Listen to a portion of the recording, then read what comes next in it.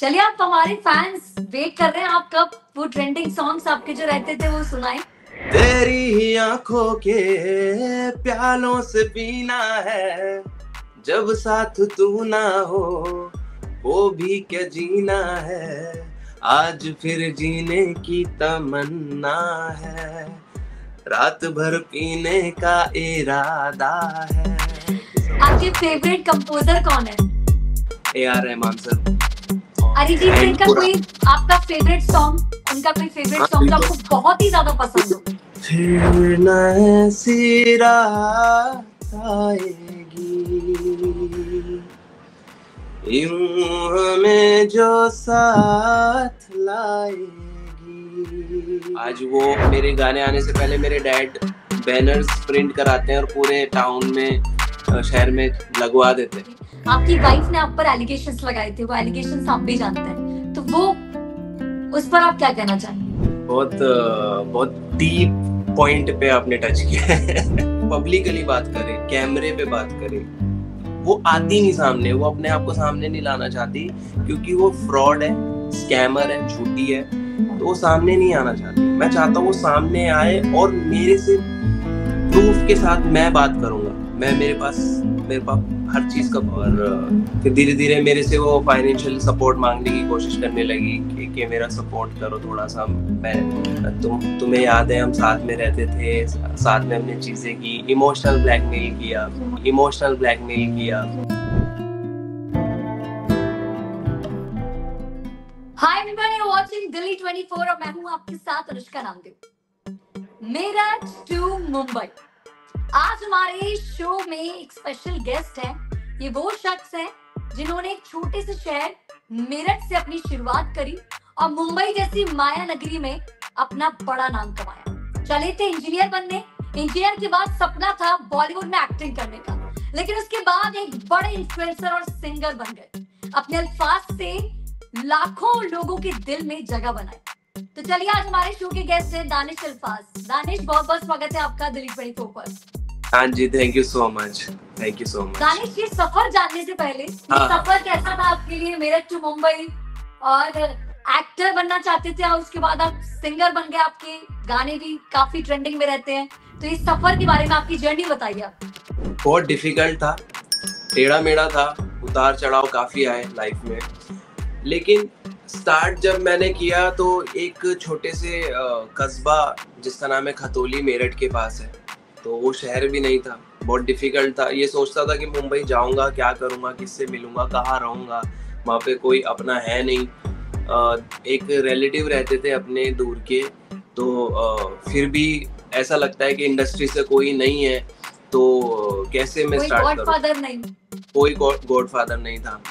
In fact मैं study करना चाहता था इस लाइन में बॉलीवुड इंडस्ट्री से रिलेटेड या तो वो एक्टिंग की हो सिंगिंग की हो बट उतना फाइनेंशियल अलाउ नहीं करता था फैमिली बैकग्राउंड तो डैड ने फिर भी जितना हो सकता है मेरी स्टडी कंप्लीट करवाई कि मैं a सिविल इंजीनियर और मैंने आर्किटेक्ट में डिप्लोमा भी किया है. तो फिर पापा ने बोला कि जब तुम स्टडी कंप्लीट कर लोगे, जब आगे जो करना चाहते हो जैसे करना चाहते हो आप करना।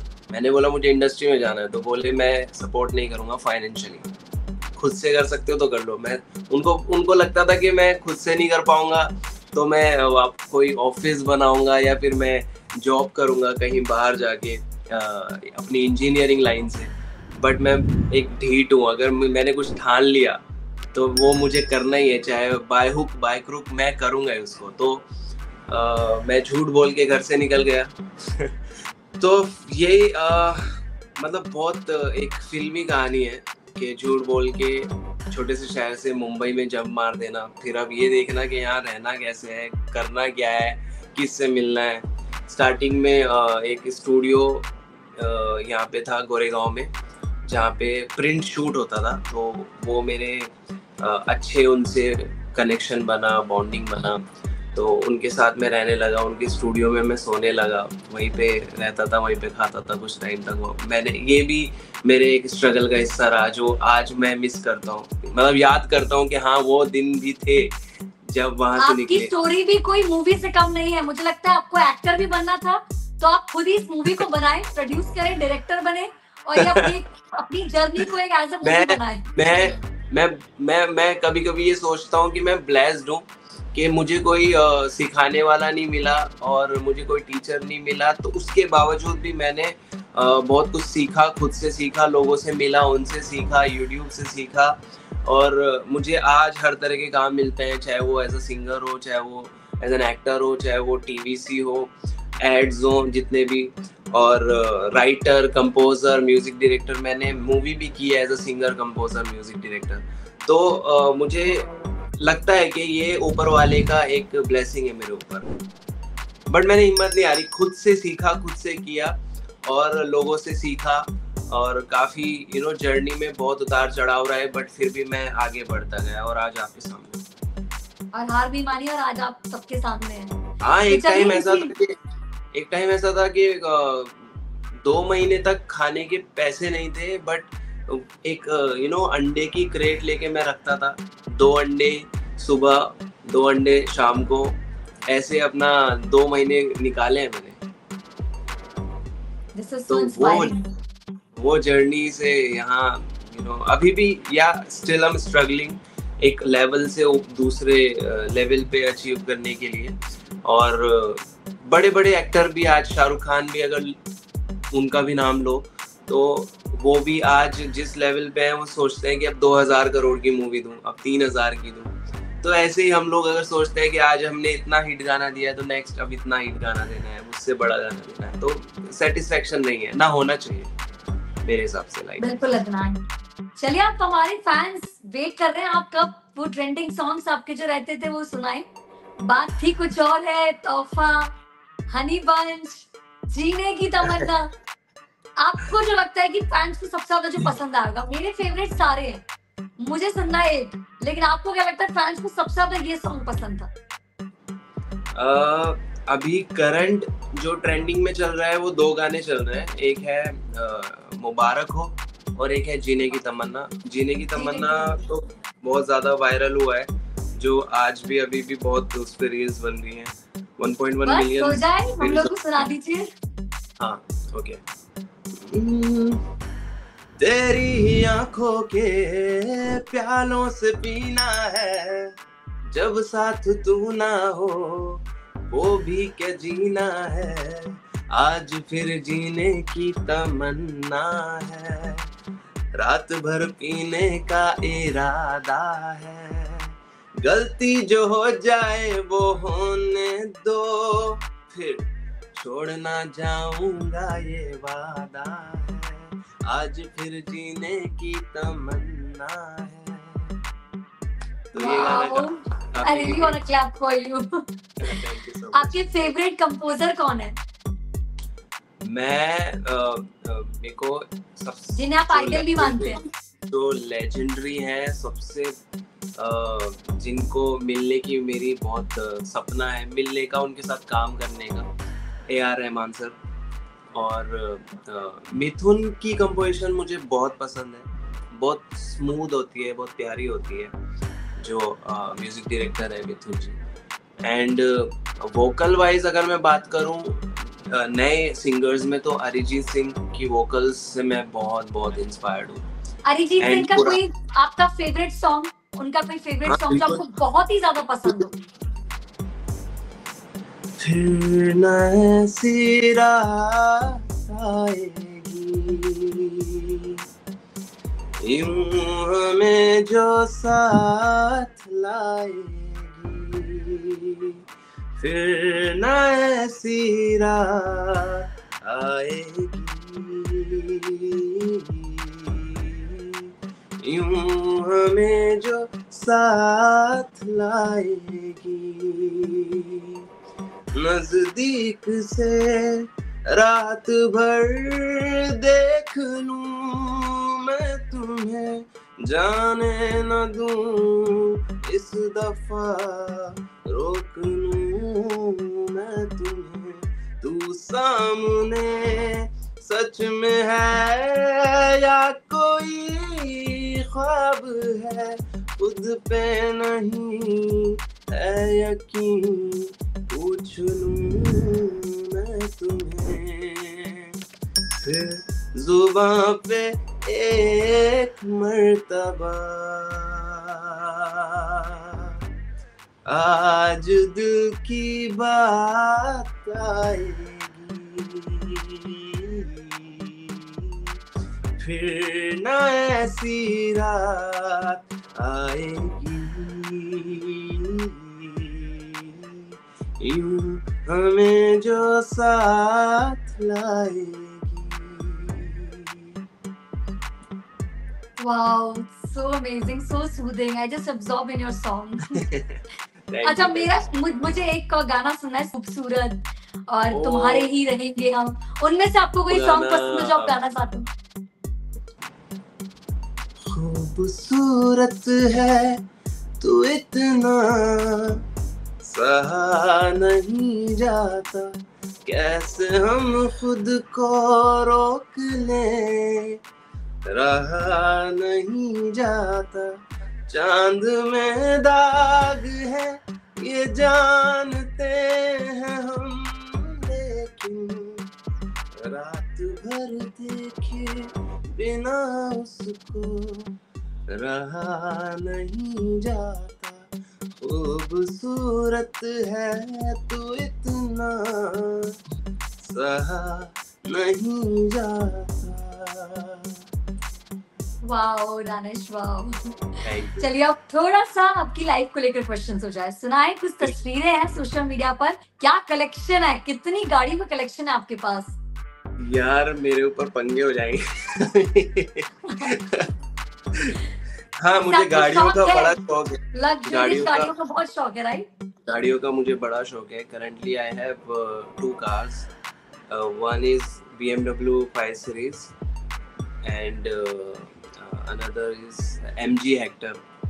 तो उससे पहले मैंने जैगवार रखी थी मर्सिडीज ई क्लास रखी थी एंड मैंने मैं मैं हर छः या आठ महीने में गाड़ी बदलता रहता हूँ तो ऐसा मुझे बड़ा शौक आपकी पूरी पूरी मेहनत का ही नतीजा है जो आप अपने खुद के स्ट्रगल से खुद के हार्ड वर्क हाँ से जी हाँ जी मैंने मैंने पेरेंट्स का गिफ्ट है ये।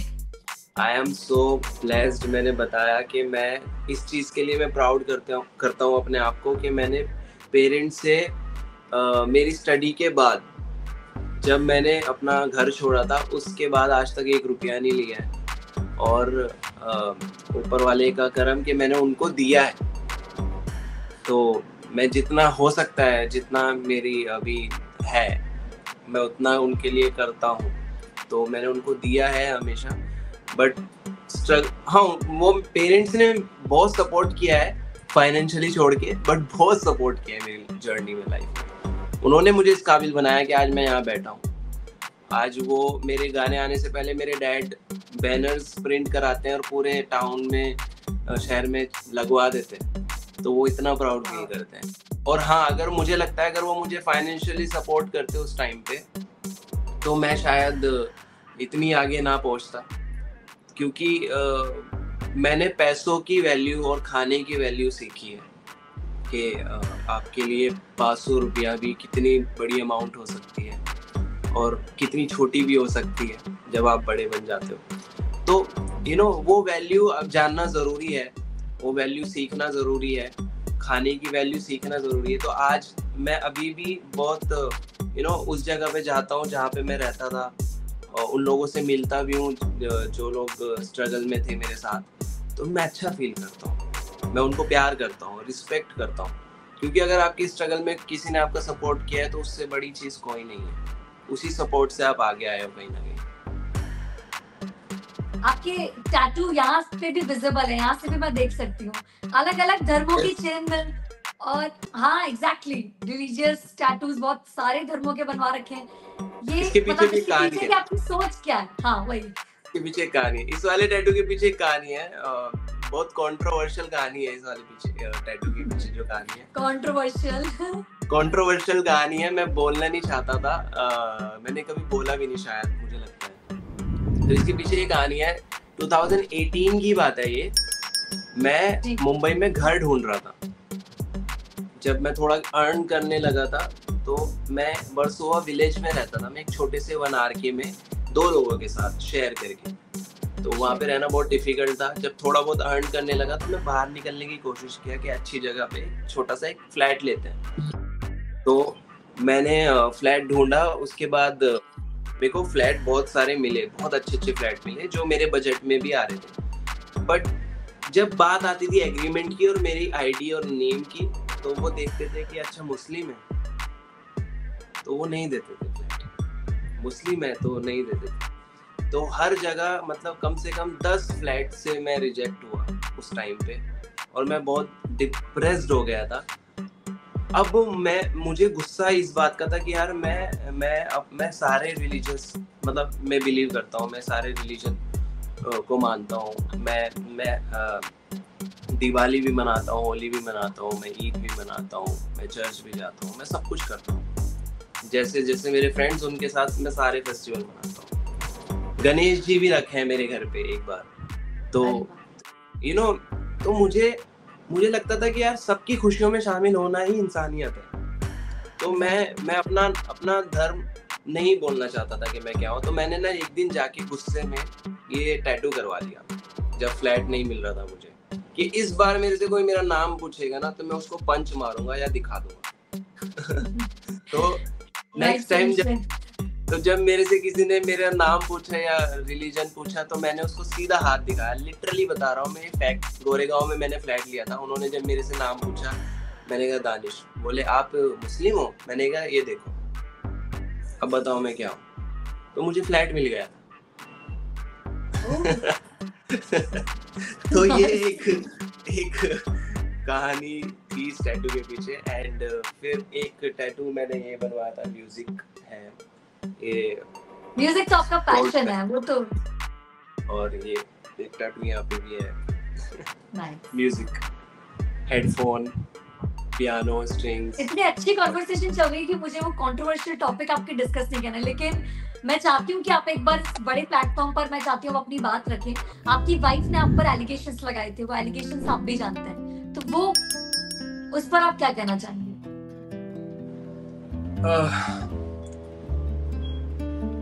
बहुत बहुत डीप पॉइंट पे आपने टच किया आई नो मैंने कहा ना इतने अच्छे कॉन्वर्सेशन में मैं बिल्कुल ये पॉइंट टच नहीं करना चाहती थी। एक्चुअली क्या हुआ था? मैं इन शॉर्ट मैं आपको इन शॉर्ट बताता हूँ। मैं आपको इन शॉर्ट बताता हूँ। इस बारे में ज़्यादा मैंने अभी कहीं बात नहीं की एक ही जगह बात हुई। It's okay you can tell it in brief only it's okay second आपके पास ये बात हो रही है। एक लड़की थी बहुत बहुत स्वीट सी बहुत ऐसा लगता था कि उसको हेल्प की ज़रूरत है बहुत गरीब और वो बोलती थी कि मेरे को इंडस्ट्री में काम करना है। मैंने उसका काफ़ी सपोर्ट किया स्टार्टिंग में क्योंकि आप नाम नहीं बताएँगे राइट बताना चाहता हूँ बट लीगल चीज़ों की वजह से मैं नाम नहीं इट्स ओके दानिश हाँ जी तो, आगे? मैं चाहता हूँ मैं चाहता हूँ मेरे सामने आए और सामने आके मेरे से बात करे। पब्लिकली बात करे कैमरे पे बात करे, वो आती नहीं सामने, वो अपने आप को सामने नहीं लाना चाहती, क्योंकि वो फ्रॉड है स्कैमर है, झूठी है तो वो सामने नहीं आना चाहती। मैं चाहता हूँ वो सामने आए और मेरे से प्रूफ के साथ मैं बात करूँगा। मैं, मेरे पास मेरे पास हर चीज़ का प्रूफ है। हालाँकि वो कुछ कर नहीं पाई इन्वेस्टिगेशन हुई, सब कुछ रॉन्ग निकला बट यू नो कोर्ट से ही चीज़ें आगे बढ़ती हैं कोर्ट से ही खत्म होती है कोर्ट से ही शुरू होती हैं। पुलिस वाले को सब पता होता है रियल रियलिटी क्या है वो कुछ नहीं कर सकते। बट क्या हुआ कि उसने अपनी फैमिली झूठी दिखाई उसके मोम डैड झूठे थे फेक थे और उसके रिलेटिव सब फेक थे। जब हमारा निकाह हुआ वो निकाह भी इस बेस पे हुआ था कि उसने दिखाया कि उसके माँ बाप मर गए हैं, दिल्ली में रहते थे और उनकी डेथ हो गई। वो पूरी एक कहानी बनाई गई, एक फिल्मी कहानी है पूरी, जिसपे बिलीव सबको हुआ, क्योंकि वो इस तरीके से पेश की गई। मेरे बेस्ट फ्रेंड को इन्वॉल्व करके उसने सारी चीज़ें उसके थ्रू मेरे तक पहुंचाई। और मेरा बेस्ट फ्रेंड को ये लग रहा था कि वो मेरी हेल्प कर रहा है उससे शादी कराने में। बट वो अपना उल्लू सीधा कर रही थी। तो बहुत लंबी कहानी है, वो बहुत डिफ़िकल्ट है। एनीवेज उसने पूरा प्लान किया छह महीने। मेरे पे रिसर्च की मैं कौन हूँ मेरे दोस्त कौन है मैं क्या करता हूँ कहाँ रहता हूँ। मेरे दोस्तों से पहले फ्रेंडशिप कर ली। पूरा एक जाल बिछाया।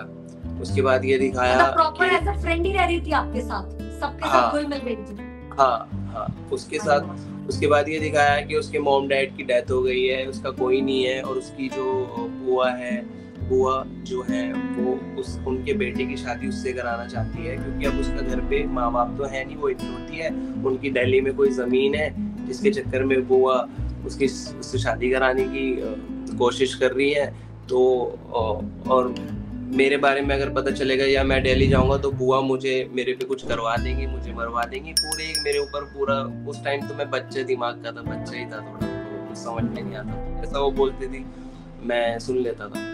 तो बहुत यू नो एक तरीके से पूरा फंसाया फिर जब अ, मेरे मम्मी पापा को दिखा कि इसका कोई नहीं है घर पे इसके पीछे भी दुनिया पड़ी हुई है इसको परेशान करते हैं तो उन्होंने उसको घर रख लिया एक तरह से गोद ले लिया कि अब तुम हमारी बेटी हो अब तुम हमारे साथ रहोगी तो फिर हमारे यहाँ छोटे से टाउन में क्या होता है कि लड़की को जब रखते हैं तो बोलते हैं कि यार खासकर मुस्लिम्स में क्या होता है।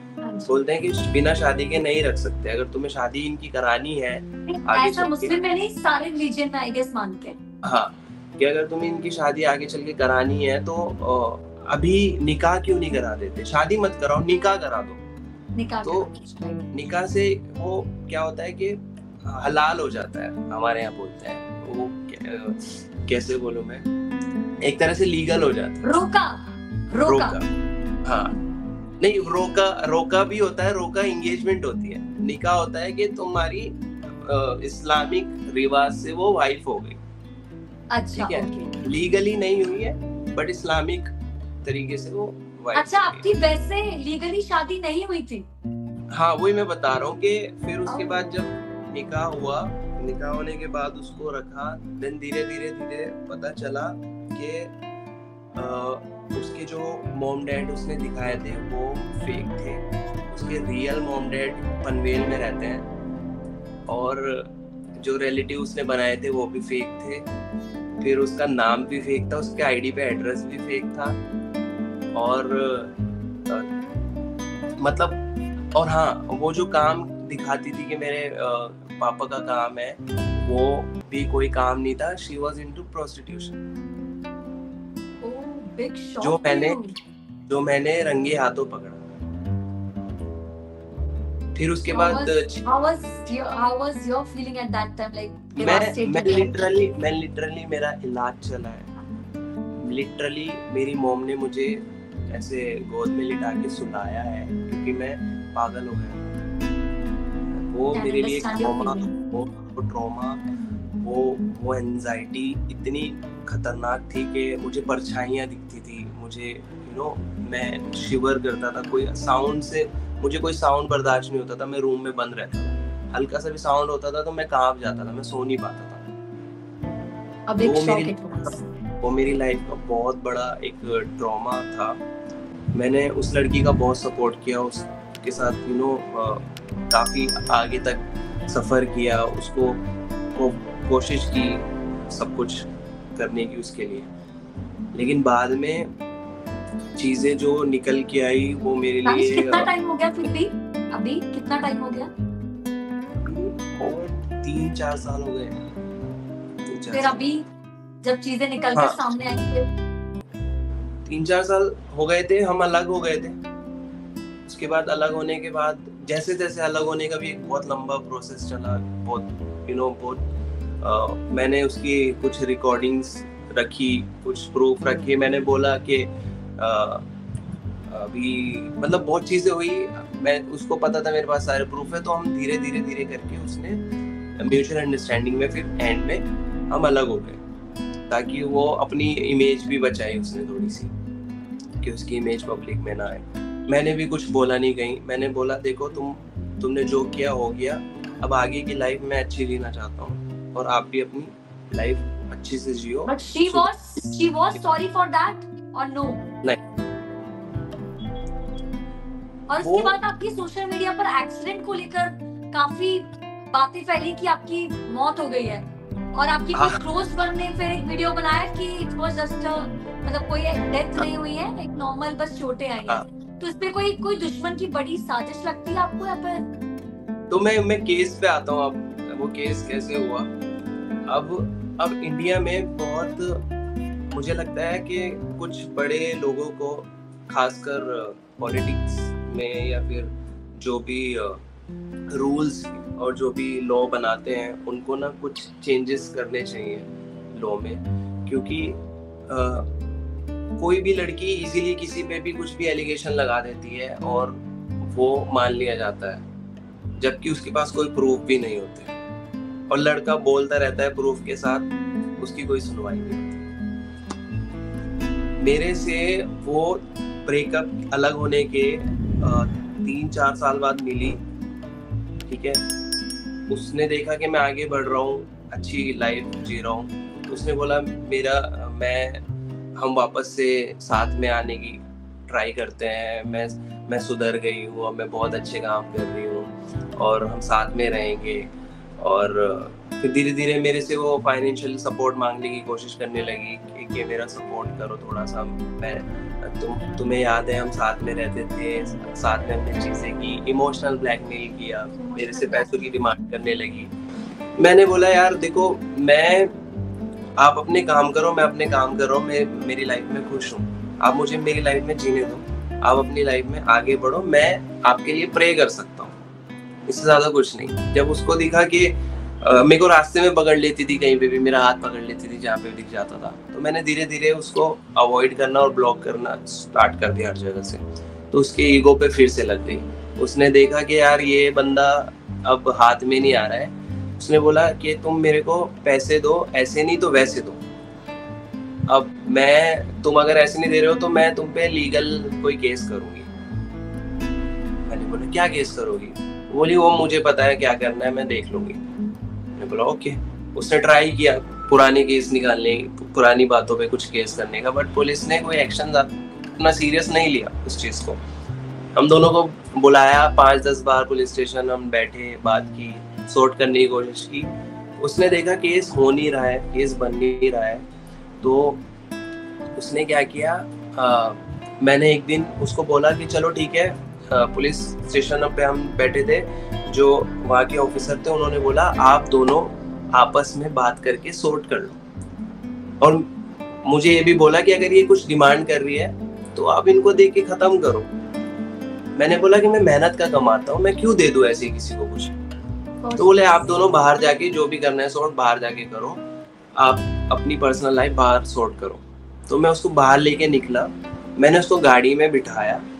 बात करने के लिए कि चलो बात भी कर लेंगे और मैं ड्रॉप भी कर दूँगा, क्योंकि मैं पब्लिक में खड़े होकर ऐसे बात नहीं कर सकता था। तो मैंने गाड़ी में बिठाया। मैंने गाड़ी में बिठा के उसको एक राउंड लिया, बात की, अच्छे से बात की, उसको प्यार से बताया कि मैं अपनी लाइफ में ग्रो कर रहा हूँ, मुझे आगे बढ़ना है, मुझे काम करने दो। इतनी बातें हुई, उसने स्माइल करके सब सुना, समझा, उसको ड्रॉप किया। अब नेक्स्ट डे फिर से मुझे पुलिस स्टेशन से कॉल आया। कि आपने गाड़ी में उसका रेप किया है। Oh God. तो ये केस बना था। अब इतना इजी है मैं मैं तब से मैं ये सोचता हूँ कि यार काश मेरी गाड़ी में कैमरा होता उस टाइम पे। काश अ, अब सीसीटीवी फुटेज देखे सिर्फ़ वो बाहर के थे गाड़ी में बैठते हुए और गाड़ी से उतरते हुए। शाम का टाइम था सात या आठ बज रहे थे। मेरी गाड़ी टिंटेड भी नहीं है। पूरा ट्रांसपेरेंट आपको आर पार दिखता है। और उसने बोला बैक रोड लोखंड वाला जो मुंबई का सबसे रश और जहाँ पे सब लोग हमारे नोन है, वो एरिया शाम के टाइम मैं अकेला बंदा। पॉसिबल ही नहीं है। मैंने वो पुलिस वालों को समझाया। वो बोले, हमें पता है बट अब उसने बोला तो एक्शन तो लेना पड़ेगा. और जब वो सीसीटीवी कैमरे से निकलते हुए गाड़ी से दिख रही है तो शी वॉज़ स्माइलिंग और एकदम एकदम नॉर्मल नेचुरल जैसे होता है वैसे उसको ड्रॉप किया केस। शट हो गया। केस शट हुआ फिर? नहीं शट नहीं हुआ था। अब जब एफआईआर होती है तो वो वापस नहीं ली जाती वो उसको कैंसिल नहीं कर सकते। फिर वो कोर्ट में जाती है। फिर जिस तरीके के प्रोसेस फॉलो करने पड़ते हैं वो सालों साल वो करते ही हैं। आपकी बातों से ऐसा लग रहा है आपको लड़कियों से डर लगता होगा। मैं मैं तो मैं तो बहुत ज़्यादा घबरा चुका था लाइफ में। Someone in your life after तीन साल में सिंगल रहा हूँ। तीन साल में सिंगल रहा हूँ।